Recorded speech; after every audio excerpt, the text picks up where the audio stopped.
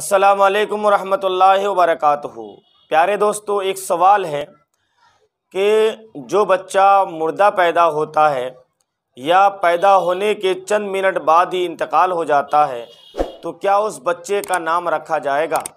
ये एक सवाल है। तो प्यारे, इस सवाल का जवाब ये है कि बच्चा चाहे मुर्दा पैदा हो, चाहे ज़िंदा पैदा हो, अगर वो मुर्दा पैदा हुआ है, तब भी उसका नाम रखा जाएगा। और अगर वो दुनिया में आकर एक या दो सांस भी लिया है, तब भी उसका नाम रखा जाएगा।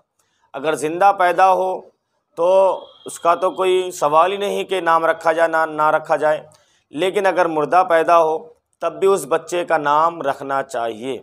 क्योंकि उस बच्चे पर भी मैदान मैशर में हशर होगा, यानी उसके साथ भी हिसाब व किताब है।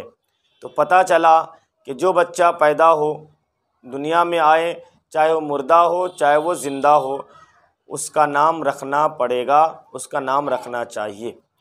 असलकम वरहमल रहमतुल्लाहि व बरकातुहू